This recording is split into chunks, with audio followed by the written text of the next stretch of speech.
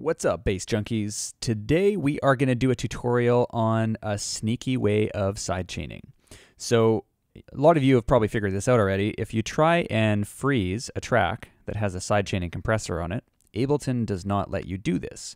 And it's also sometimes kind of a pain in the ass to set up a sidechain. You have to have a sidechain source, you know, with a kick drum sample, and it is a little bit of a um, pain in the ass to set up. So I'm going to show you another way to do it.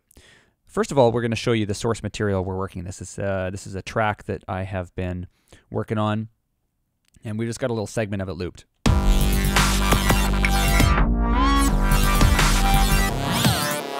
So as you can see on our fat lead right here, we've got a compressor that is set up to sidechain, and it is sidechaining down uh, to get out of the way of the kick and the snare. So if we solo this, you can hear and see what's going on. So that's sidechaining to a 4-4 kick. Now if we try and freeze this track, it's not going to let us do it. So we go freeze track, Ableton says fuck you. You can't do it because of the routing of the fat lead compressor. It doesn't compute the sidechaining signal and can't freeze it. So we go OK, and we're going to delete the sidechaining compressor.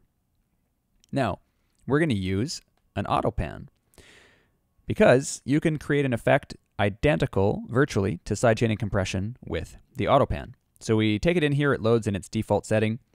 Step one, turn amount to 100%. Step two, turn the waveform to a saw wave.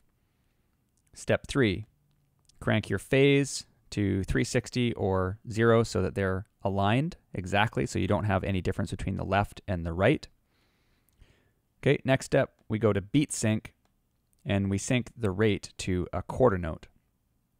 Then the final step, click normal to invert, and you will now see we have a waveform that looks oddly similar to sidechaining. So let's just check to uh, make sure that this is actually achieving the result we want.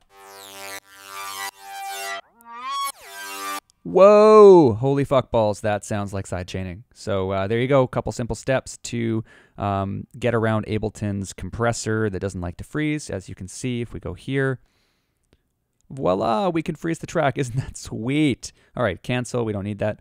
And uh, now if you want to even, this is what I've done on uh, my other system, is I right click on it and I go save as default preset because I honestly never use the auto pan for anything. So um, I finally found something to do with it, which is pretty sweet. So hope you guys enjoy that. That is our tutorial for today. Have a uh, kick-ass day and make some kick-ass music. Talk to you soon.